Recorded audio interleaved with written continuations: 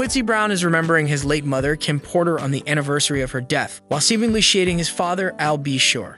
On Friday, on the sixth anniversary of her death, Porter's oldest son shared a post on social media. Quincy captioned an Instagram post Here's a rare photo of me with my mom and dad. I miss you every day. The single photo upload showed a young, toddler aged Quincy sitting inside a toy car as Porter smiled while squatting low to hug him. His mom died of lobar pneumonia in 2018 at 47 years old. When Quincy was three years old, Porter began dating Sean Diddy Combs, and the mogul eventually adopted the brotherly love actor and raised him as his own child.